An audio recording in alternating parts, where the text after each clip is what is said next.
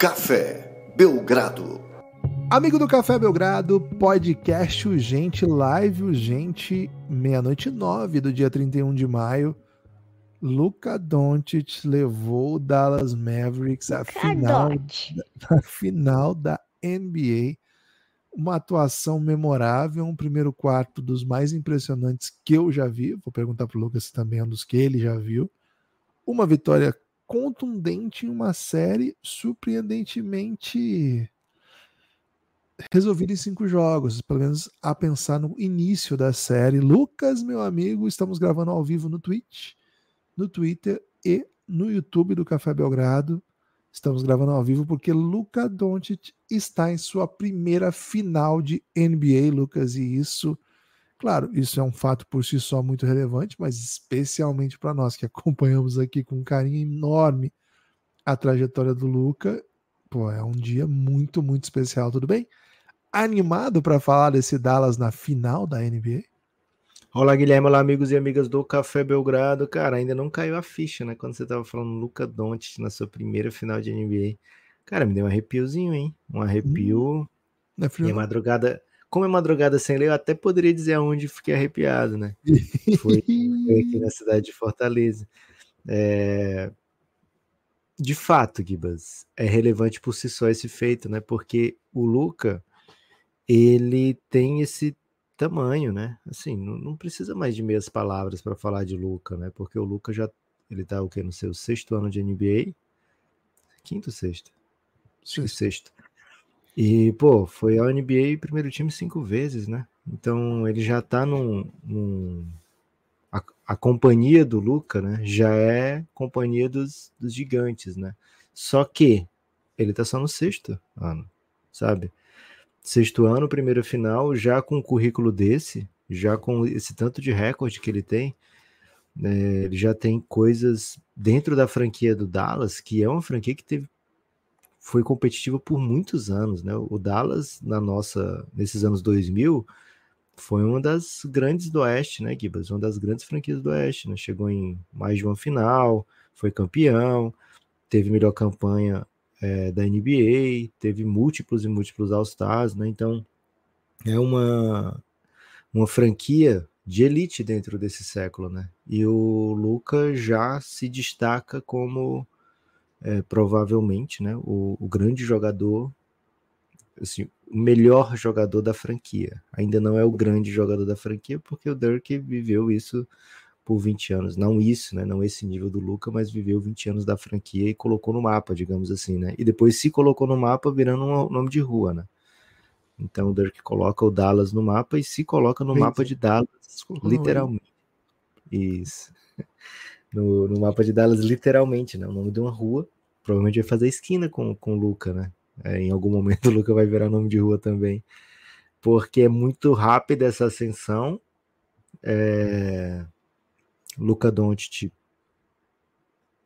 é, joga para entrar na história mesmo, né? A gente vai, a gente fala de Lucas sabendo que um dia ele vai estar sentado na mesa dos grandes, né?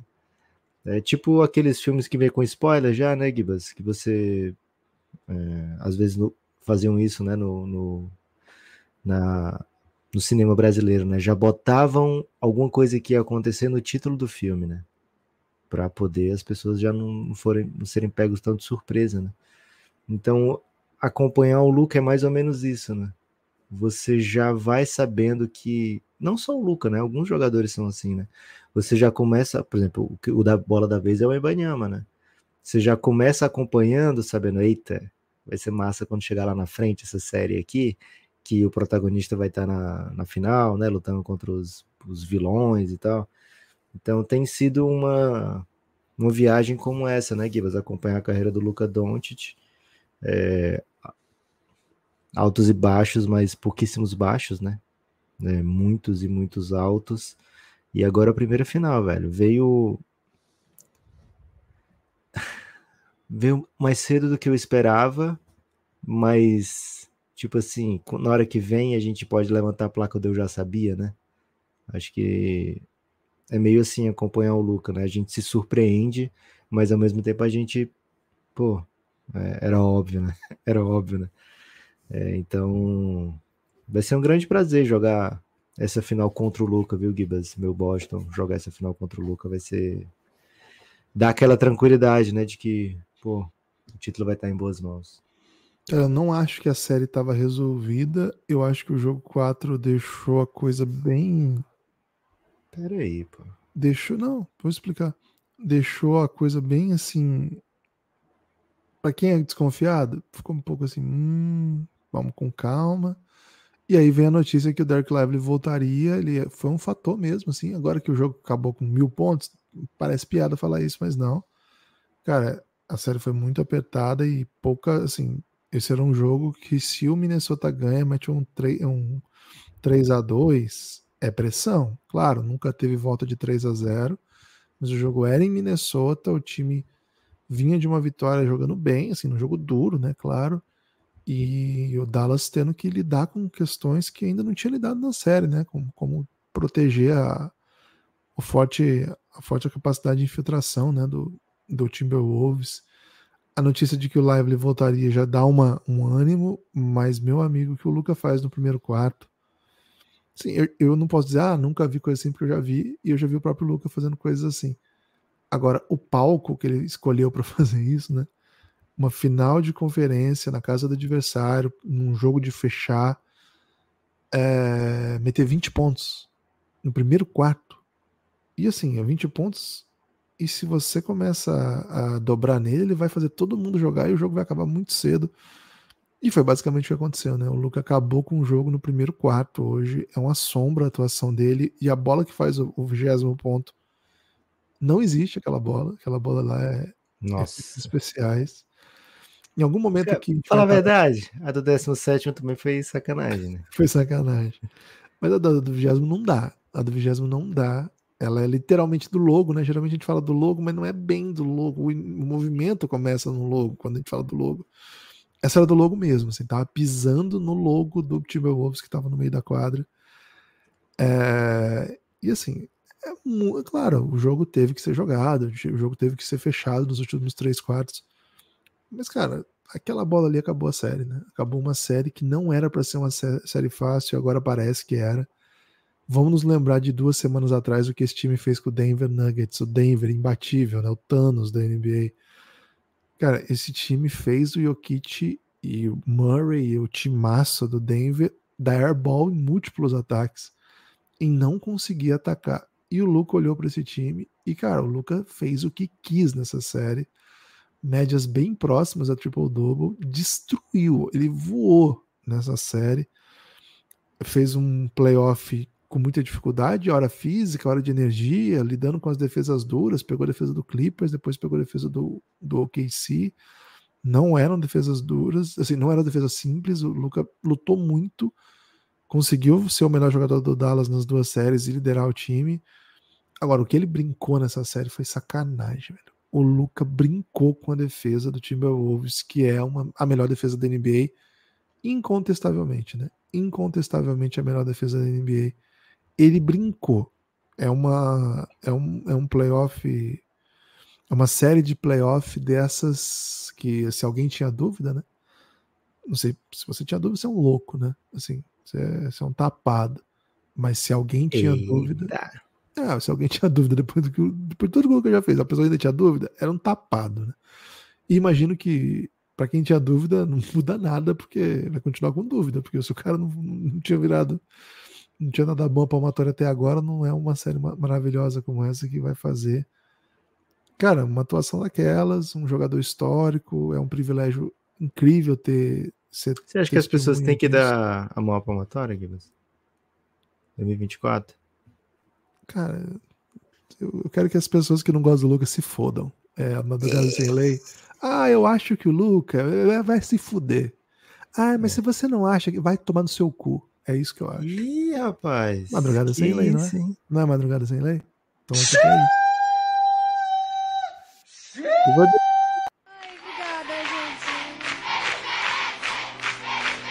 dizer mais, vou dizer mais. Gibas, é, enquanto, enquanto você falava, né? Eu fiquei tentando lembrar, porque tinha um muito específico, né? O nome de um filme que, que já dá spoiler. E aí eu tô, Qual o nome daquele filme que já dá o spoiler no título? E aí eu achei esse filme, né? É inacreditável, mas, tipo, esse não é culpa da tradução, que é o assassinato de Jesse James pelo covarde Robert Ford, né? baita, baita título de filme. Mas tem uns que, pô, é sacanagem, porque eles entregam em português apenas, né? Então Isso tem um filme. Pega, né? tem um filme Revolutionary Road, né? Do Léo DiCaprio com Kate Winslet. Eu lembro disso aqui, vai ter assistido esse filme. E em português é Foi apenas um sonho, né? Foi apenas um sonho. Que absurdo, né, cara? Já sabe que vai dar merda, né? É... Mas, enfim, mas acompanhar o Luca tem sido isso. É aspas fortíssimas, porque a gente tem coragem de falar a verdade, né? O Guilherme já avisou, né, no começo do podcast, que a gente ia falar a verdade e somos influenciáveis, né, Gibas? Somos muito influenciáveis também. É, pô, chegou um muriçoca aqui a essa altura, a chance de eu perder um litro de sangue é gigante. Alô, é... Luiz Amel. Alô, Luiz Amel. é, Gibas, normalmente a gente faz um, uma, uma análise do jogo, né? É, um pouquinho mais, assim, não ainda totalmente aprofundada, mas uma espécie de destaques do jogo, né? Antes de partir para um Pix, né? Para conversar com a população. Mas, cara, você falou muito bem ali, né? Não parece que teve jogo depois do primeiro quarto, né? O primeiro quarto termina, sei lá, 33 a, a 21, uma coisa assim, 35 a 21. É um, um não é um, um número tão expressivo a ponto de não ter jogo. Mas algumas coisas me chamaram atenção, né? O Luca não sai, às vezes o Luca sai nesse primeiro quarto, né? E dessa vez o, o parece que, não, deixa como é que eu vou acabar com essa porra aqui, né? E o Luca muito incisivo né, aproveitando qualquer oportunidade de pontuar, sem aquela preocupação de, ah, tem que fazer o, o, time rodar, sabe? Entre o meu arremesso e o do meu brother, se o dele tiver tão boa condição quanto o meu, eu vou passar a bola. Não tinha isso hoje, né, Gibas? Parecia que ele estava, especialmente no primeiro quarto, né? É, ultra focado em garantir aqueles pontos ali, né? Machucar o Minnesota desde o começo. É, o ataque do Minnesota não eu não achei o ataque do Minnesota diferente dos outros dias, sabe? O ataque do Minnesota não necessariamente estava com ultra dificuldade. Nossa, a defesa do Dallas hoje fez uma coisa muito diferente, né? Que aí matou o Minnesota. Cara, era aquela morosidadezinha de sempre, né? Do ataque do Minnesota, dificuldadezinha para pontuar. É, talvez algumas turnovers a mais ali, no, especialmente no, meio para o fim do primeiro quarto e começo do segundo, né? Quando o Minnesota achava que ainda tinham, opa, vamos encaixar aqui, né? Vamos fazer alguma coisa urgente para esse jogo voltar para os trilhos.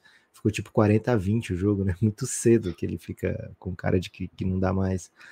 É, mas não, foi exatamente assim, ah, o ataque do Minnesota implodiu, né?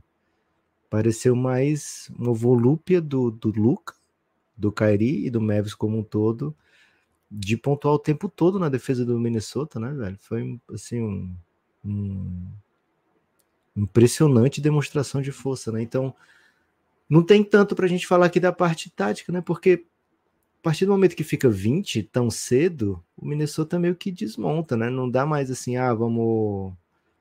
Até tinha tempo para isso, né? Mas não, não, parecia ter organização e nem confiança no, no plano de jogo para fazer né, paulatinamente ir tirando essa, essa vantagem, quando o tempo todo se tomava a bola, né? Durante o jogo, segundo tempo, às vezes o Minnesota, opa, agora vai baixar de 20, hein? Agora vai baixar de 20. Quando perigava isso, tomavam bola, velho. Impressionante como não conseguiam baixar de 20. É, então, um jogo de muita volúpia do Mavis, né? Gibas, quem quiser participar aqui é muito fácil, né? Mandar sua observação, seu questionamento, sua participação, podcastbelgrado.com é a chave Pix, manda o Pix no corpo do Pix, você coloca aí a sua mensagem. Temos algum, Gibas, para essa Temos. noite bela de hoje? Pix um modalidade. Legal, só tem antes. É... Não, só uma coisa, assim, acho que teve um, um ajuste que o Dallas fez que deu para surtiu um efeito logo no começo, que eles voltaram com outro plano para defender o Mike Conley. Né? A gente falou bastante sobre isso aqui, que o Mike Conley estava conseguindo ser bem influente na, no jogo de pique contra a defesa do Dallas e, e hoje o Dallas não estava afim de deixar ele jogar fluido, né? Então estava trocando, estava trocando, não, não perseguia. Isso levou a alguns momentos pitorescos, né? Começa o jogo, o Gobert sendo muito acionado no poste baixo. E, cara, uma coisa eu posso garantir para vocês: o Gobert ser acionado no poste baixo, nenhum time da NBA vai perder uma final de conferência que o Gobert vai fazer 100 pontos de poste baixo, sabe? É uma, é uma alternativa que. Ou 20, né? Ou 20. Não, uma alternativa que até ele acertou as bolas que ele fez, mas não é fluido, né? Não, não, não dinamiza, não gera aquele monte de arremesso livre de três. Hoje a gente não teve arremesso livre de três do, do Wolves, ou não, tiveram, não na proporção que a gente teve ao longo dos outros quatro jogos da série. E acho que ele, o Mike Conley, era muito responsável por esse ataque andar um pouco. É um ataque que tem muita dificuldade de, de fluir quando não tem o Anthony Edwards fazendo coisas incríveis. E acho que hoje quem sustentou de alguma maneira ainda o time para não tomar uma surra ainda maior foi o Carl Anthony Towns, né? O Carl Anthony Towns fez bastante coisa, assim, enquanto supostamente, enquanto o, Timberwolves tentava fazer com que houvesse jogo, né? E não deu, né? Assim, não, não, não, o ataque do Wolves foi um problema o ano todo. O ataque do Wolves encontrou soluções na série contra o Denver o suficiente para avançar é, mas nessa série precisou de um pouco mais, porque o ataque do Dallas estava muito, muito bem. E hoje, né, brinquei muito com isso aqui nessa série, né, Lucas? Ah, não adianta nada você ter os dois closure, que todo mundo tá falando, os caras que melhor fecham o jogo e tal, se você não chegar nessa condição, né? E hoje o Dallas não precisou dos, dos caras para fechar o jogo, na verdade, eles fecharam o jogo no primeiro quarto, né? Não precisou que o jogo tivesse faltando cinco minutos, com cinco pontos a menos no placar para mostrar por que, que você precisa desses jogadores. É, cara, uma atuação que, que deixa o torcedor do Dallas muito otimista. E a gente vai falar muito aqui já, né? Imagino das finais, acho que vão chegar perguntas sobre isso. Mas mais do que isso, assim, né, cara? É uma campanha muito contundente, né? Vitórias contra Clippers, OKC e Wolves, tendo perdido, eh, tem vencido muito jogo fora de casa, não foi nenhuma dessas foi em sete jogos, né? Foram todas, todas muito duras, todas muito duras. Mas todas assim, resultado, em nenhum momento o Dallas perdeu o controle da série, assim, sabe? Bem impressionante esse playoff do Dallas, o time Acho que hoje o Lucas tava... todos, todos três com mais de 50 vitórias na temporada, né? Clippers 51, OKC 57, Wolves 56. E assim, todos os uh, nessa, nessa dinâmica de, de playoff, etc., em todos os momentos da série a gente viu o Luca de alguma maneira longe de ser ele, né? Hoje talvez seja o jogo que ele estava mais solto, aparentemente, assim. É... Fisicamente mesmo, não é só o placar. Teve outras grandes atuações dele, né? Mesmo aquela do jogo. Foi do jogo 3 ou 2? Que você comparou ele ao. ao Fábio Baiano. Qual que foi mesmo que você falou? Foi jogo 3. Jogo 3. O, o, quarto período do jogo 3, velho, ele, ele, ele mata o jogo pulando num pé só, né? Foi bem louco, assim. Hoje não, hoje eu achei assim, não, não vi momentos, grandes momentos assim, não. É uma boa notícia né, para a torcida do Dallas, e agora o Luca vai ter uma semana para fazer sei lá o que der para fazer. Começa a série, o time do Boston é muito físico, muito talentoso, né? Tem, tem muitos jogadores que vão confrontar essa, esse talento do Luca. E daqui a pouco ele vai estar mancando de novo, estou mais ou menos convicto disso. Mas de toda forma, é um time que precisa dessa semana. Vai ter a questão aí do pescoço do Lively também, que hoje tomou outra ainda, né? Então, vamos falar muito desse jogo, vamos atender as questões aqui. E é madrugada sem lei, hein? Já soltei palavrão, vou soltar outros, hein? O, só, o Lucas, só, só o Lucas que solta palavrão aqui, pô, geralmente é de. Que você tomar no cu é palavrão? É mais um. Ou é um xingamento? Um xingamento. Desabafo. É, mas o xingamento vai se fuder, tomando. Mas é uma ofensa, né? Hum. É uma ofensa. É mais uma ofensa. E é. Mas tudo bem, né? Assim, acho que encaixa na madrugada sem lei, não? Encaixa, encaixa. Encaixa, né? Tem que pôr explícito. Pra encaixar, né, Gibas? É... Gibas, temos Pix modalidade e tal? Temos. Dito temos... isso, temos algum? Porque eu senti que não tinha, porque você tava tinha. tão. Não, Pô. temos sim. Pix eu vou. Modalidade. Aqueles que mandaram no Intra. Bananão. Bruno, é bananão, né? Se você quiser. É, no Entre Lives, a gente. Quem mandou Pix no Entre Lives, a gente vai ler amanhã na gravação do podcast, né? Porque não era da live, às vezes a pessoa mandou. Então, ó, se você mandou entre a última live e essa, a gente vai ler o seu, hein? Fica tranquilo. É, só não vamos ler aqui agora, vamos focar nos que chegaram durante a live, porque a gente nem sabe se vocês estão aqui e tal, e se a ideia era essa. Então, você mandou no Entre Lives, está mandando depois desse também, mas antes de amanhã do, da gravação do pod? Complicado, complicado. Se você ouvir seu nome, tá, é esse agora. Se não ouviu, vai ser no próximo. É isso. Melhor assim. Mas assim, se você mandou a partir das 10 e às 11 e meia da noite, aí o seu vai ter aqui. Se você mandou antes, provavelmente não. Ó, Gabi Vi que abriu os trabalhos, hein? Gabi Vi abriu Sempre. os trabalhos. Segundo consta aí, é o, é o, braço clandestino do Café Belgrado, né? Tudo aquilo que é, é gray area, ele que, que assume aí. Aí, família Gadelha. Gabi V tem ligações com a família Gadelha. Derrick Jones Jr. é um dos grandes casos desse Dallas. De quase sem espaço na liga para jogador fundamental nos dois lados da quadra. Concorda com o Gabi Lucas? Ah, cara, eu, eu vi o Derrick Jones Jr. acho que no seu ano de novato pelo Suns, né? É, e ele era um cara que enterrava, né? Um cara que pulava muito, era intrigante, ele entrava em quadra, a gente ficava naquela, sempre com o jogo decidido, né? Ficava na expectativa dele meter uma dunk absurda. É, mas passou muito tempo para se tornar algo mais do que isso. Né? A gente debateu algumas vezes aqui sobre isso, né, Gibas? Um momento que ele começa a mostrar, opa, posso ser mais, né? É, ele, mandou, ele mostrou flashes em várias equipes, né? Ele já rodou em algumas equipes, o, o Dark Jones Jr. É, e ele mostrava né, alguma, alguma qualidade. Já jogou Bulls, né, jogou Blazers, jogou Suns, jogou Miami. A partir do momento que ele chega no Miami, né, acho que é o momento que ele começa a pegar mais minutos com muita frequência em time que competia né, por algo é, real, digamos assim. Então foi quando ele foi aparecendo de vez, mas agora no Dallas, pô, ele é um titular ele marca o principal wing adversário, né? É, se ele não é o marcador primário, ele é o marcador secundário desse wing adversário do principal. É, então, é o grande momento dele. Acho que vai pegar o seu melhor contrato em breve. E acho que acho que tem sim muita qualidade no Dallas por ter dado essa, esse espaço para ele, né, no Kid, por, por ter dado esse papel para ele muito também pela perseverança dele de, de ir evoluindo e, e polindo seu jogo, né, Gibas? Hoje o jogo dele é muito mais polido do que foi lá atrás, né? Então, muito trabalho envolvido nisso aí, velho. É um jogadoraço, hoje é um jogadoraço mesmo. É, acho que ele tem. Acho que ele tem algumas, algumas valências que são muito potencializadas pelo jeito que o Dallas joga também, né?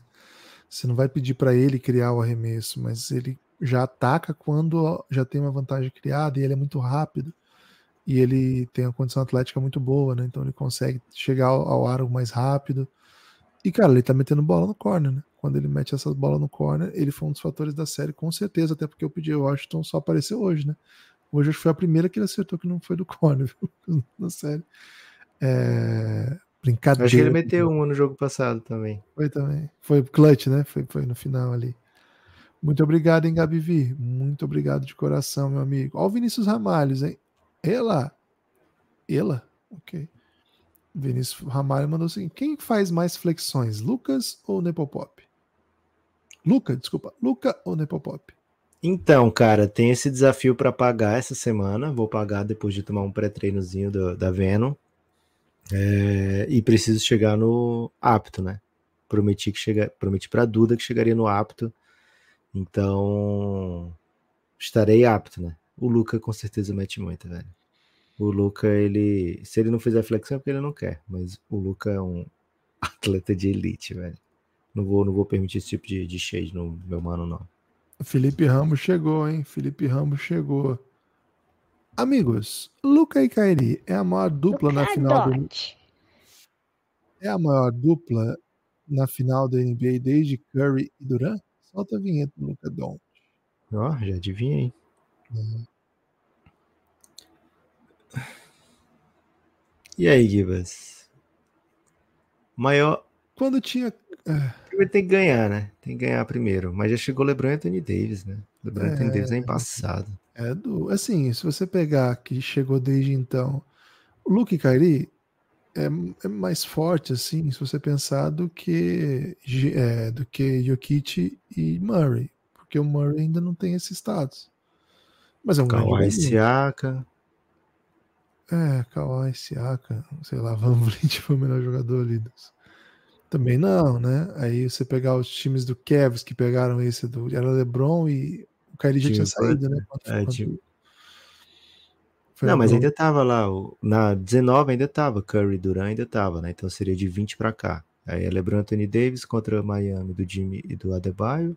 É, aí não, não dá pra conversar também, né? Então, É, LeBron Então- e Anthony Davis é muito embaçado. é, é LeBron Anthony Davis o debate e Jamal Murray e Jokic. Não- Assim, o- o- pelo que o Kyrie já fez, né? Dá pra dizer que ele, ele tem um posto maior na liga do que o Jamal Murray. Mas, cara, o Jamal Murray fez muita coisa quando o time chegou na final também, tá? E não vamos também falar, falar mal de, do Tatum e qualquer pessoa ali do Boston, né? Que também é um, um É, baita duplo. É, Tatum Jaylen e Jalen. Brown pela segunda final dos caras. É, o Tatum já é um super pontuador em história de playoff, né? É, uma- um- o Boston tá, tá mais maduro do que o Dallas nessa no desenrolar dos anos, né? O Dallas, o, o Dallas tá chegando agora com essa formação, né, de time. O Boston já vem com, com essa espinha dorsal, né, dos JJs já desde 2019, né? Então, acho que vai ser uma final muito equilibrada. Amanhã provavelmente a gente vai fazer um brincar de preview, talvez, Gibas, mas vamos Vamos. falar especificamente da série, né? Mas pô, gigantesca essa dupla Kyrie e Luca, velho. Tem potencial para ser, de fato, enorme. Quem mandou esse, Gibas? O Felipe Rambo, sempre com a gente. Felipe super Rambo, especialista em muitos esportes, especialista olímpico, né? O, já- na transmissão gringa, acho que foi o Stan Van Gundy que falou que é o maior backcourt da história do basquete. O backcourt mais talentoso da história do basquete. E aí eles ficaram debatendo e não sei o que e tal, né? E o, e o que sempre falam de, de, de Curry Clay, né? Que era uma dupla especificamente, entre outros nomes da história, né? Isaiah Thomas, sei lá, Joe Dumars de fato não tem muito desse nível, né? Até pelo jeito que era, eram organizados os elencos, as duplas costumavam ser amador e pivô, né? E é mais É. recente isso. Então, Às vezes um wingzinho, né? é, então existe esse debate rolando lá nos Estados Unidos também, viu, Felipe Rambo? Ó o Jorjão chegando, hein? Jorge, Jorge de Soucas. É o brabo. Fala, Jorjão. Boa noite, amigos. Só duas palavrinhas hoje. Luca Doncic. Obrigado É e isso. boa live. Adote. Valeu, Jorjão. Obrigado e boa live. Ó, Felipe Aquino, hein? Felipe Aquino. Olá, alô, galera. Ouço o podcast há alguns anos, mas participo pela primeira vez. Ó, Luca e Kairi serão os melhores em quadra nas finais? Abraço. Cara, Não, acho que não. acho que não. Também acho que não. Acho que Assim, é o Luca- o Luca acho que é o melhor jogador da, da final, acho que não, não tem debate. Mas aí depois do Luca, certamente o Kyrie não seria o segundo num paro ímpar, né? Mas acho que seria. Nós estamos muito tranquilos aqui para falar do Luca, porque nós defendemos o Luca MVP o ano inteiro. E assim, É. até na, na véspera da, da na votação, o Lucas me perguntou em quem que você votaria para MVP? E já estava claro que seria o Jokic o MVP. Eu falei, Luca, acho que 34 pontos por jogo é 10 pontos a mais do que o Jokic fez. Eu sei que é um número bobo, é uma estatística que não, se sustenta com tanto com a avalanche de, de estatísticas que tem hoje, mas o impacto que ele tem, ele se sustenta também por conta desses pontos, porque ele não faz só pontos, né? Ele, ele tem uma dinâmica de influência do jogo que é assustadora. Mas o MVP está em ótimas mãos. Mas eu achei, eu acho que o Luca é o melhor jogador da atualidade. Tenho defendido isso aqui. Então, imagina agora que não tem Jokic mais na briga. É, ele é o melhor jogador do playoff, sem dúvida. Agora, cara, acho que o, a série final vai, encon- vai encontrar out- uma dupla que tá jogando muito, cara. Um né? time, né, velho? Um time massa. É. Não, não digo assim, mas para dizer o melhor jogador, né? Então, assim, acho que o Luca é o melhor jogador, mas, cara, o Kairi não fez o segundo melhor playoff dessa lista. Acho que o playoff do Kairi é irregular. Tem momentos muito bons. É, momentos... É, eu acho que o playoff do Kairi é uma grandiosa notícia, sabe? Tipo, de expectativa e realidade, né? Mas não necessariamente é, um, um altíssimo nível de playoff. É, é muito alto, muito alto. Talvez, talvez seja altíssimo, mas não o nível, sabe? Tipo, esse cara que é o segundo melhor jogador desses playoffs. Não, acho que não, não dá nem debate isso, sabe? Acho que alguns jogadores fizeram playoff ou estão fazendo playoff melhor do que o Kyrie Irving. É, mas é uma grande notícia esse Dallas funcionar dessa maneira, a dinâmica que a dupla encontrou para agir com todo o elenco que tem por trás, o esforço defensivo que os dois fazem. Né? Então, assim, o que o Kyrie entrega é exatamente o que o Dallas precisa, né? É... Mas não acho que, que seja assim. É... Essa dupla gigantesca, além de tudo, ainda tem um super. Se fosse assim, velho, o Dallas estava tava garantido já, né? Se os dois melhores jogadores fossem do Dallas, com essa defesa que o time consegue, esse nível defensivo consegue chegar, não ia ter para ninguém. Talvez não tenha para ninguém, né? Mas, pô, Boston Boston embaçado. Já saiu na KTO quem é o favorito para a final? Já, já. Vai sair, acho que depois da rodada do Pix, viu, Gibbs? Boa. O Claudinei Machado mandou o seguinte: os roteiristas dos playoffs não estavam de sacanagem. Kairi contra Boston, Porzingis contra Dallas. Haja palo santo pro Kairi defumar todo mal. que isso? Cara, o Porzingis contra o Dallas não é tão caliente assim, assim, não, não saiu tão de mal, sabe? a relação assim não era ótima, saíram alguns ruídos depois de, de insider dizendo uma coisa ou outra, mas acho que é bem tranquilo, assim, não, acho que não tem tanto histórico e não foi, assim, é outra, é outra história, eu acho. Agora, Kyrie Boston, de fato, é uma história bem, bem quente mesmo, assim, desse playoff. Com certeza a torcida do. Eu não acho que a torcida do Dallas odeia o Porzingis, sabe? Agora eu tenho certeza que a torcida do Boston odeia muito o Kyrie. Essa é a impressão que eu tenho, pelo menos. Claudinei mandou um ótimo pix. Muito obrigado, viu, Claudinei? Obrigado demais aí pela sua contribuição. Lucas Miranda, Lucas. O Dallas de Lucas. O Dallas, o Dallas de Luca é tão azarão quanto o Dallas do Dirk foi em 2011? Não, pô. Não. Ali eles estavam pegando o time que era para ser o novo o novo Bulls do Jordan, né? O novo time imbatível. E até veio a ser, né? Esse do Miami teve quatro anos, foi para quatro finais. Né? É, hum. Era muito desfavorito o Dallas naquele momento, né? Porque mesmo o Dirk, ele já já estava pegando o Dirk numa descendente ali, né? Já estava pegando o Dirk na, na ponta final da sua, do seu auge, digamos assim, né? É, no lado do, do restante do elenco, aí sim, né? Vários veteranos, né? O Jason Kidd já nas, nas últimas, né? Não nas últimas morrendo, né? Mas acabando como jogador sua história mesmo. Né? É, Sean Merrill, Pedro Stojakovic, Jason Terry, que foi o segundo mais importante do time, não tem uma, uma história nem de longe similar do Kyrie Irving, assim, sabe? Além do que, né, como falei, o Miami mais maduro do que esse Boston, né? Aquele Miami tinha o Wade que já era campeão, tinha o LeBron que era o tipo o Luca, né? Agora, né? Mas já num, num estágio além também, porque já tinha ido para a final antes, já tinha sido múltiplas vezes MVP, né? Então, aquele Miami era bem mais favorito. É, mas assim, era o ano 1 um daquele time e o Dallas terminou em segundo lugar naquele ano. Esse Dallas aqui terminou sensivelmente pior, né? Em quinto lugar, pelo menos. Ah, é, é pior. É sensivelmente pior. Ok. A questão é que do outro lado tinha uma ideia de favoritismo muito voltada para o Miami. Agora, aquele time chegar na final talvez não foi uma grande surpresa, assim, pela dinâmica do playoff e tal, né? Que o time ganhou do jeito que ganhou do Lakers, aquela série que foi. Ah, mas esse, o, esse Dallas chegar no, no na final também não foi surpresa, Gibbs. Porque quem acompanhou o Belgradão na KTO, né? Viu que essa era a final prevista pelo Café Belgrado, né? Dallas É. e Boston. Deu a lógica, né? É, foi uma aposta ousada do Lucas, porque a lógica seria Denver contra Boston, mas assim, eu acho que nem aquele, acho que nem aquele Dallas era um azarão e nem esse Dallas é um azarão. Acho que a palavra geralmente é- ela se aplica a um nível de, de surpresa maior, assim, do que as que estão para jogo aqui, sabe? Acho que aquele Dallas era a segunda campanha do Oeste, pô. Então, azarão acho que é outra coisa. Assim, azarão era o Miami ano passado.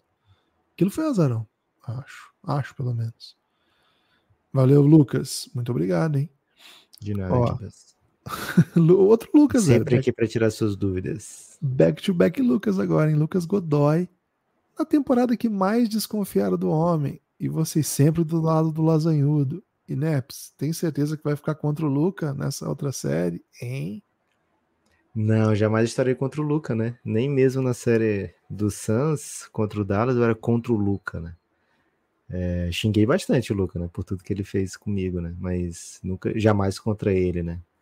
É, tem um compromisso, né? Assinado com o Boston Celtics, né? Meu passe aí tá preso ao Boston Celtics nesses playoffs. Mas, mas você Mas- pode usar a camisa do adversário de acordo com o Gabigol. né? Posso. Comigo Cláusula- também. Cláusula Gabigol. É, eu fui um grande defensor do, do uso da camisa do adversário por parte do Gabigol, né? Que sequer é adversário, né? É, então, aqui eu sempre considero União Flarintes, viu, Guilherme? É até uma coisa normal, né? Devia ser uma coisa até esperada. Mas não, jamais estarei contra o Luca e tô feliz demais, Gibas, com essa final. Tô feliz demais com essa final. Até porque temos bets, né? Tanto Boston campeão como Dallas campeão. Então, lá na KTO, vai ter aumento da banca. Se bem que eu vou- provavelmente vou perder tudo até lá, né? Mas vai dar certo. Osmar Júnior, hein? Osmar Júnior tá avisando aqui. Dallas em 6. Eita.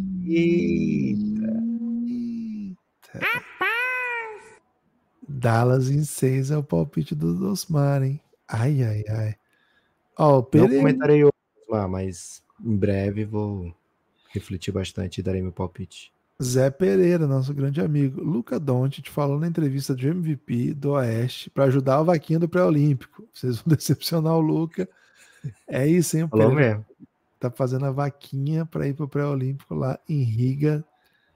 É, tem aí os links nas redes sociais do Pereira e do, a gente deu RT também. Dá uma procurada aí. Quem conhece o Pereira já sabe, é JPS. Vou dar um RT agora para quem estiver querendo saber o que, que a gente está falando. Isso, melhor. Vai estar lá, hein? Vai estar lá no Belgradão ou Café Belgrado no Twitter. Salve Pereiraço, um beijo no seu coração, parabéns pelo título de conferência, torcedor símbolo aí do Dallas, eh, vaquejados, como é que ele fala? Dallas Mavericks Basquetebol Vaquejados. Isso, perfeito. O Azaf, hein? Azaf, Giba, seus xingamentos acordaram minha esposa, calma. Eita. Pô, eu não acho que eu gritei Pô, xingando. É um radar de, de xingamento, É, velho? Aí fala um palavrão, começa a pitar, porque eu não, eu não gritei, porque, pô, eu nem posso gritar essa hora. Quem, quem ouve o Belgradão sabe, né? Mas aí talvez seja, ouve um palavrão, ap- apita algum, algum dispositivo lá na casa do Azaf. Mas é madrugada. é, ó, provavelmente ela vai acordar agora.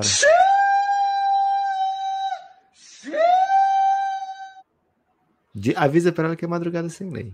É madrugada sem lei, velho. E quem não conhece Madrugada Sem Lei, tal, talvez tenha se assustado, mas não procure os outros podcasts Madrugada Sem Lei, que a gente era, foi- já foi bem agressivo no passado, hein? Tô- Ó, seguinte, é... pro Cari tá jogando essa bola que tá jogando, não precisa a terra ser plana, tá, gente? Tô vendo muita gente se deixar levar facilmente, né, pelo, pela sedução do, do terraplanismo do Caribe nesse momento, né? Tem gente que falou que vai queimar a carteirinha de vacinação, Lucas, em homenagem ao Caio. Cara, mas ó, o Luca é vacinado e ele acredita na Terra redonda, né? Então, peraí também, né, gente? Como é que foi o, o cabuloso hoje, Revinho? Nosso Cruzeirão ganhou? Opa, salve aí para todos os torcedores do Cruzeiro. Ó o Ramon, hein? Ramon na área. O Ramon Limberger. O Romulo tá completamente impactado com a fofoca Piovani Neymar. Eita, rapaz, isso aí foi pesado, hein? Isso aí foi pesado. Não peguei bem o lance, Só sei que é, depois que o Rômulo falou, boa, 1x0 pra gente é bom, hein? É, depois que o Rômulo falou, né? Provavelmente meu celular tava ouvindo o Rômulo, viu, Gibbs? Porque as próximas atualizações já apareceu, né? Neymar falando lá. Ele mandou palavras tipo a que você tá mandando aí para quem não gosta do Luca Doncic, para quem fala mal dele. E não sei como começou, mas não me surpreende no estágio da carreira dos dois que eles estejam trocando farpas na internet. Eu acho completamente compatível com a realidade. Eu acho também. Aliás, acho que o, Ney, o a Luna Piovani em Malhação era o Neymar no Barça. Eu teria que refletir mais, Gibbs, pra... Boa. Qual era o papel dela na, na Malhação, velho? Lourão. Ela fazia o Lourão. Ela não pegou a, malha, a Malhação original, então, né? Original. A primeira. É não, da primeira? Do dado? Acho que ela contracenou com o dado. Caraca, velho. Me escapou da memória. É. Segundo o Neymar, ela tem idade para ter feito essa malhação, porque foi uma das acusações do Neymar para ela, né? Chamou de velho. É. E ela falou assim: Cara, esse cara nem tá mais no auge na carreira, né? Então, você foi um cara que nem na carreira tá bem, nem exemplo para nada, né?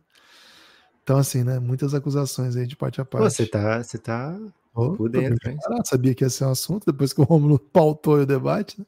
Agora, Gibas, Ali no quarto Quem... período, quando, quando entrou o Luca Garza, eu falei, pô, agora é hora de descobrir essa fofoca aí da Lona O Alexandre Pavoletti, cara, o Gibas é especialista em malhação. Ah, pô, alguém bane o Pavoletti. Alguém Pavoletti. tira o Pavoletti aí. O Pedro cancela, cancela o, ah, Pavoletti aí. Pô, a Luana Piovani nunca fez malhação. Pronto, agora pronto, né?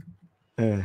Agora... É, o Alexandre não quer que ela tenha feito malhação. É, no, no, mundo. Isso que é muito louco. Ele simplesmente mete essa assim. Ah, ela, acho que ela nunca fez a malhação. Baseado em quê, cara? Ô, Alexandre, baseado em quê que você acha que ela nunca fez se ela fez? Tipo, tipo... Mesmo. É, o... é, eu acho que o, que o Wolves ganhou hoje. Gibas, o... é madrugada sem ler, Alexandre. Cuidado com o Gibas, velho. O Gibas tá muito impactado hoje. É... Eu queria te fazer uma pergunta séria agora, Gibas, sobre. É sem shade a ninguém, tá? Sem aqui, shade a ninguém. Aqui ó, aqui, ó. Malhação 1997. Temporada na academia com Luna Piovani e André Marques chega ao Globoplay. Aí, ó. Aqui, ó, tá bom? Aqui, ó, Luna Piovani na Malhação. Pô, mas esse aí não pode ser o André Marques, Aquele é André Marques, não é não, né? Não, não. Esse é o Pedro Vasconcelos. Ah, tá. Aí aqui, ó, tem a passa-se esse ponto, né? Tipo John Tex. E aqui é o, é o dado, ó. Olha o dado aqui. Você perguntou é se eu tinha contracionado com dado? Tinha. Ah, Bonito aqui. isso, né? Ali no livro. Kibas, é, acho que tá bom já. Né? Acho que já demos muito tempo de, de tela aí para a Luna Piovani nessa participação aqui, da eliminação. Ó, André Marques. Queria ver o André Marques, tá aqui. Boa. É, não queria ver o André Marques, não. É, o... Cara, o Alexandre. Não precisa pedir desculpa, não, Alexandre. O Gui está sendo indelicado com você. É... Quem você acha. Que é sem shade nenhum, tá? Até porque eu acho que essa resposta tem. As pessoas podem pensar diferente e tudo bem. Mas quem acha. Quem você acha dos dois mais capaz de brilhar nas grandes ligas da sua respectiva área ainda, né? Um retorno, assim. Tipo, Neymar voltar. Tá Neymar voltar para Champions. Eu não mais falar de, de, de Lona Piovani. Não, falei que foi muito tempo de tela que você botou para lá. Ah, de, ok. É. Ou a Luana voltar para uma novela de altíssimo nível, para um, um filme, né? Para um filme, para um bom filme, né? Ela fez Mulher Invisível, um bom filme, Mulher Invisível. Qual dos dois? Não, o Neymar não tem a menor chance de voltar para Champions League. Você né? acha? Acho, não acho, é um dado da realidade. assim, Acho que não tem nem interesse da parte dele também. Eu também não sei se a Luana tá interessada. Acho que tá, ah, pois é. Acho que é um. É, cara, é um rival. É um debate, velho. É um debate. Eles, tão, cara, eles encontraram o seu rival, tipo, sabe? É, enquanto isso, o Kyrie, que era o Neymar da NBA, foi para tá outra direção. Final, final da NBA. Foi para outra parada, né, velho? Você acha que existe um caminho possível em que o Neymar faça o Kyrie assim? Eu meio que te perguntei isso agora, né? E você já disse que não é, tinha. Mas é eu, eu, fiquei pensando sobre isso antes, não sobre. Não, não tinha essa questão do Lana Piovani ainda. Mas eu pensei assim, pô, a gente comparou o primeiro podcast que a Fé GPS, pelo amor de Deus, véio, isso me quebra. Ô, GPS, madrugada sem lei, então não posso nem te reprimir. Não posso nem te reprimir porque é madrugada sem lei. É, mas assim, o, o primeiro podcast Café Belgrado da história era assim: quem é o Neymar da NBA? E a gente chega à conclusão que é o Kairi. Começa assim o Café Belgrado. Já dando, 2017. avisando, avisando para onde iria, né? E aí eu fiquei pensando esses dias nisso, né? Porque o Kairi tem uma reviravolta, né? Assim, tem uma reviravolta na carreira. E na época que a gente gravou isso não tinha nada disso. Os dois estavam muito bem, muito bem. E de alguma maneira a carreira dos dois foi para um buraco por motivos diferentes, mas enfim. E teve essa reviravolta do Kairi, né? E aí eu fiquei pensando que talvez, cara, o Neymar teve a oportunidade de ser o Kairi lá com o Mbappé, né? Porque, pô, é. você ser Antes do Kairi, né? De você ser o segundo de um time que um cara é muito bom, mas você é muito bom também. Você vai deitar, o cara vai fazer as paradas, o cara vai resolver, o cara vai ser o ídolo e tal. Mas, pô, o Neymar entrou numa de eu que vou bater os pênaltis, né? Pô, não vou tocar pra esse cara, não, né? Então acabou que foi para outro caminho. Reflexão importante aí. Mas tem mais Pix, hein, Lucas? Então Boa. voltar para os Pix. Boa, também. Participe você também. Podcastbelgrado.gmail.com O Cícero mandou aqui, eu não sei se ele errou a digitação, né? Ele falou, na moral, quem não gosta do Lula vai tomar. Foi quase isso que eu falei aqui, viu, Cícero? Foi quase isso que eu falei aqui. Muito obrigado pelo seu Pix. É, se for sobre o Luca, foi a mesma coisa que eu disse aqui, né? Se não, não. É, Yuri, hein? Yuri Fernandes. Digam para Suelen, minha esposa, que eu a amo. Pix da paixão. É. Pix da paixão. Involuntário ou não, mas Suelen. Yuri te ama. Isso, assim, você já sabe, né? Sabe mais que ninguém. Ela está comigo aqui ouvindo a live. Abraço para vocês, Suelen. O que o Yuri te ama é brincadeira. Homem apaixonado. Pix da paixão é uma maneira de você declarar seu amor verdadeiro, né? Você pode até declarar de outras maneiras, mas é difícil que a pessoa acredite com a mesma intensidade que a Suelen está acreditando nesse momento, né? Então, se você quer que a pessoa acredite que seu amor é verdadeiro, Pix da paixão, quanto maior o valor, maior o amor. E. Ó, alguém Cara... bane o Janderson aí que tá defendendo o Neymar no chat. Chama, chama Luan. Chama Luan. O Mbappé que entrou na. Cara, é porque é o seguinte, parece que ele tá meio que falando mal do Mbappé, e é uma parada que eu também não sou totalmente contra. Eu mais ou menos me abstenho nessa, de falar mal do Mbappé. Não, mas se a, briga, assim... se a briga é Neymar e Mbappé, pô, é. Mbappé. É. Se a briga é Neymar e Luano, sou Luano. Se a briga é, é entendeu? É difícil eu estar do lado do Neymar alguma briga, hein, velho? Porra. Ok. Última vez que eu tive do lado do Neymar numa briga foi o quê? Zuniga? Acho que não, hein? 2014, pô, peraí também, né? Ó, seguinte, hein? Pô, Pedro Cancelo vai ganhar, velho. Aquele, vai aquele, ganhar sábado. Aquele, e aquele inglês é o... que ficava falando mal do Neymar no Twitter. Aquele cara. É o Rio Ferdinand?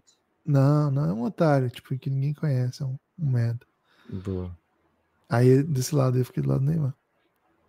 Mas hoje em dia, se ele twittar, meta o like e tudo. Pix modalidade.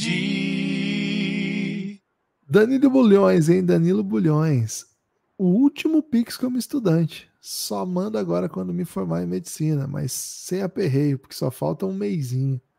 Muito obrigado. Muito obrigado pelo companheirismo. Tamo junto. Pô, tamo junto demais. O podcast que mais defende medicina é aqui, gente. E eu personifico essa defesa. Embora muitos covardes me ataquem. Ok. Valeu, Danilo Bulhões. Força aí nesse mês que falta, hein? Ó, João Alves. João. A galera tá empolgado hoje no chat, tá inspiradíssimo. A madrugada sem ler, esse é o espírito, né?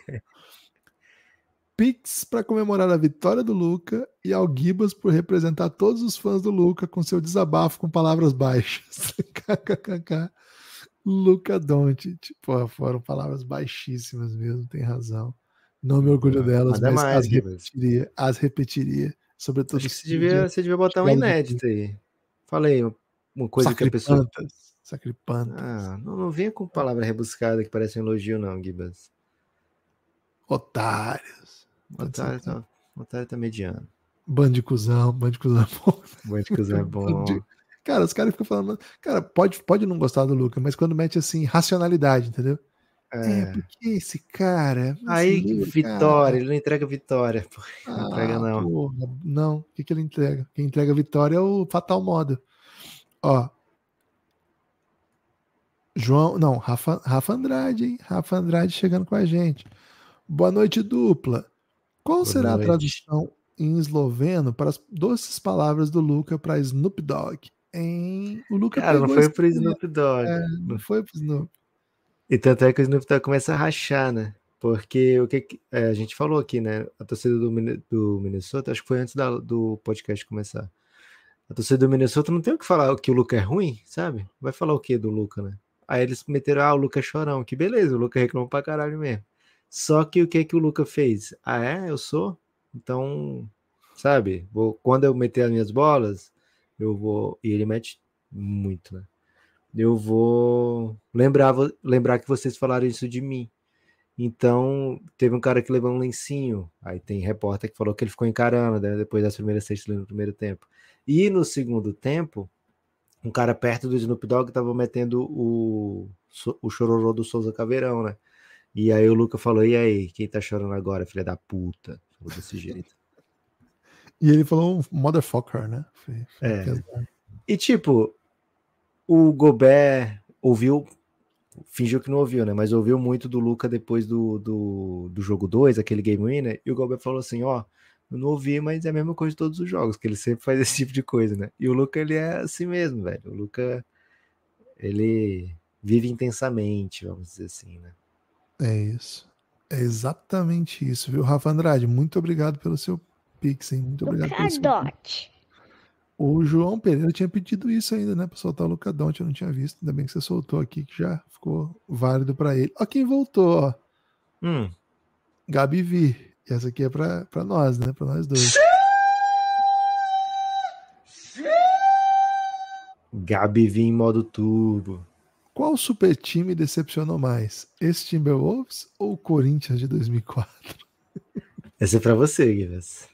Foi, quem chamou o Wolves de super time não fui eu, né? Então, metade Foi o- você. Foi o Jokic, né? Quem sou É. eu perto do Jokic, né? Mas o Jokic falou. Falou. Falamos, né? Mas falei, falei aqui que o Dallas ia ganhar essa série, viu? Teve aqui Falou gente torcedor do, do Luca que ficou em cima do muro. Ficou mesmo. falei, Respeito, né? Respeito pelo adversário. Tá, brinca- tá de brincadeira. Pô, o Corinthians de 2004. terceiro? Ô, Fernando, você chegou muito atrasado, velho. Teve uma hora que ficou em looping aqui o Luca Donte, hein? Terceiro. Terceiro nesse segundo, nessa sequência aqui. Você tá perdendo, pô. Pô, o Corinthians de 2004 tinha nomes lendários, né? Tinha Bruno Otávio, Fábio Baiano, é... Regis Pitbull, Pô, velho, eu achei, que, eu achei que era o time da, Piá. do, do, do- da MSI lá, velho. Não, foi depois, 2005.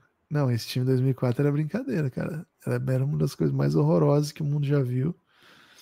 É, e aí depois os técnicos foram caindo e entrou o Tite. O Tite ainda não era famosão, assim, já, já tinha, já tinha algum hype e tal, mas tava tanto que assumiu o Corinthians da merda, né? E cara, o Corinthians ficou só empatando, empatando de 0 a 0 ganhando um joguinho aqui de 1 a 0 tal, e escapou do rebaixamento. Mas qual foi? Foi esse que tinha o Adrianinho, que veio lá daquele vai pacote. dar pra mim, velho? Não Não, tô faço perguntando pro chat, pô, tô perguntando pra você. Pô, ninguém do chat era vivo nessa aí. Pô, esse time me deu muito rancor. Tinha um, tinha um maluco que chamava o Endel, velho, que era meio que um volante. Cara, ele é o cara mais cinturador que eu já vi, velho. Era brincadeira. Era brincadeira. Ó, Joelinton, hein? Mandou um pix e não falou nada, só mandou aqui contribuindo com o Café Belgrado. Modalidade. Falei, Joel, então, pra mim você tem que ser convocado, velho. Tem que ser, pô, tá jogando muito. Lucas, reta final, hein? Ah. Reta final, porque acabaram os picks e já é uma da manhã, tem podcast amanhã. Mas quero aí suas impressões finais do título Dallas Mavericks nesse pós-jogo aqui, live, react, emoção. Luca na final da NBA, qual que é a sua, sua sensação? Ah, Gibas, eu acho que é- eu- o sucesso desse Dallas, ele é um sucesso também do Adam Silver, tá?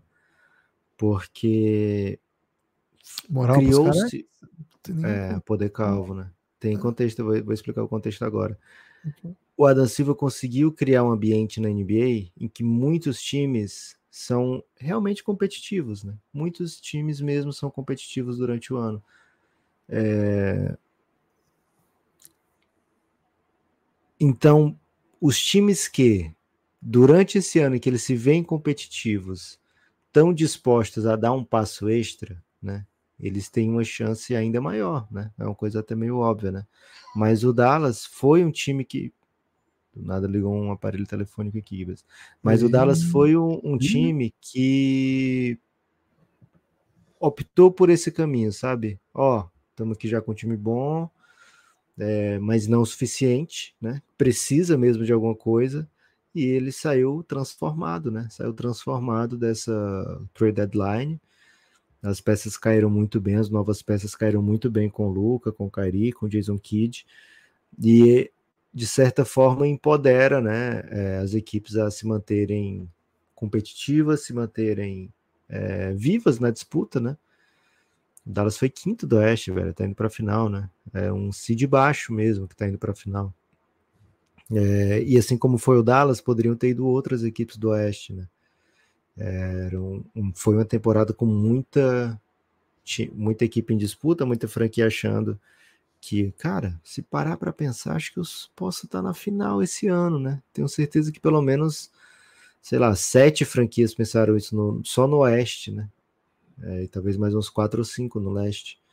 Então, é uma vitória do Dallas, mas que representa muito para o mais um ano, né? Que a NBA vai ter um campeão novo, né? Então isso já tá meio implícito, né? Que tem muita, muita equipe competitiva. Mas essa do Dallas dá a impressão de que não precisa ser aquela formação perfeita que vem, porque se a gente for pegar, né? O Denver draftou esses caras todos, né? O veio Aaron Gordon depois, né? Lógico, veio o KCP, mas assim, foi, veio um ajuste, né? O Golden State, antes disso, campeão, e o próprio Celtics também, né? O, o Core, né? Tá lá desde o draft, né? E aí foram jogadores que foram baratos e foram, foram adicionando peças e tal. Mas o Dallas, o Dallas, ele meio que implodiu, né? O Dallas, já do Luca, meio que implodiu recentemente, né? Ele meio que, pô, vamos tentar por outro caminho, né? E já era. Essa é a terceira correção de curso do, do Luca, do Dallas do Luca, né? Que teve é o primeiro, que ele chega com ainda Dennis Smith Jr. como titular do time. Vamos mandar embora. Opa, trazemos o Porzingis, né? Aí tem a desistência do Porzingis, a chegada do Kyrie, e agora, né, nessa trade deadline, não é bem uma mudança de curso, né? Mas é um, uma aprumada no rumo, né? É, então é um. Desculpa o destaque não ter ficado grande aqui, mas Foi é, bom. um, é o poder calvo, né? O poder, poder do calvo do, do Adam Silva que promove isso, né? É, essa possibilidade dos times se reposicionarem, né? Muitos times tiveram essa chance, né? O Gibas falou isso aqui recentemente. Não, não é como se o Dallas tivesse pegado as últimas bolachas do pacote, né? O Gafford e o não era aqueles casos de Lillard, né? Que tava todo mundo doido pelo Lillard, cada um mandava seu pacote. Não, pô. Os caras estavam aí disponíveis quem quisesse mesmo, né? E o Dallas quis, enxergou o potencial e sai recompensado. Dois caras titulares no final de conferência vão ser titulares na final da NBA que estavam em times horrorosos, é, sem perspectiva de nada.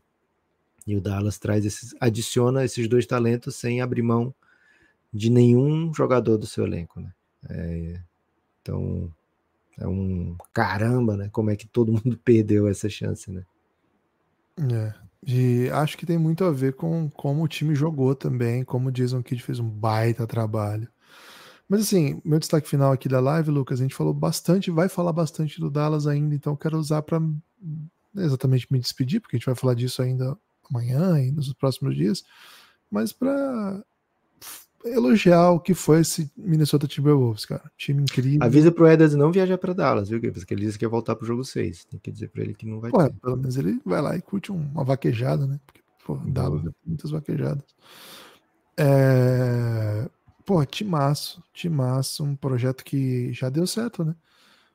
É um time que Você já é vencedor. Já é vencedor, chegou à final de conferência, tem jogadores jovens.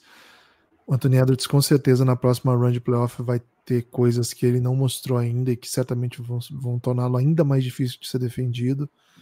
O Anthony Towns, acho que fez uma partida 4 e 5 para mostrar que merece bastante respeito, sabe? Bastante cuidado. É um time que vai fazer alguma outra troca, vai fazer uma outra adição nesse elenco, mas o núcleo tá aí, é um jeito de jogar que é muito efetivo, muito competitivo no playoff. Cara, teve que lidar com o melhor jogador do mundo e é muito difícil, né? Teve que lidar com os dois melhores jogadores do mundo. Com um eles conseguiram, com o outro não deu. É... Mas, cara, não... é um time que não chega a playoff nunca. É um time que acaba de igualar sua melhor run na história da, da, da franquia. O outro Minnesota que tinha ido também tinha parado num 4x1 também, final de conferência. Foi 4x1, não foi? 4x1 também, em 2004. Acho que foi 4x2 aquele ano pro, pro Lakers. Na minha cabeça é, acho que foi 4x2 e, e o Lakers do Kobe, do Shaq, mas também do Cal Malone, do Gary Payton, né? Que foi vice, hein? Cuidado, Dallas. É. O. Vou confirmar aqui, mas assim, é a melhor campanha da história da franquia. É... A segunda melhor em tendo perdido, né? Perdi dois jogos na final. E agora um. É, venceu dois jogos na final, agora venceu um. É uma. É o segundo melhor, melhor campanha da história, mas igualou o melhor resultado de todos os tempos. É um time que se acostumou muito com derrota e viveu de derrotas por anos e anos e anos.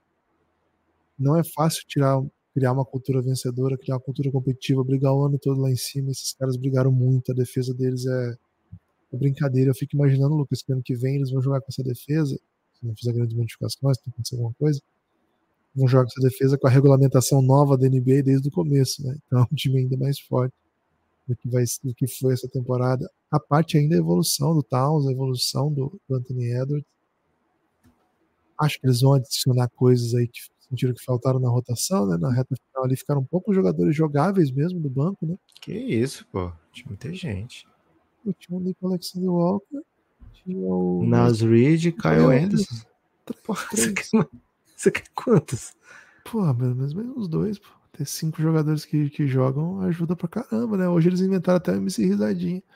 Então, acho que eles vão inventar alguma outra coisa. É um time que chegou muito perto, cara. Chegou muito perto mesmo.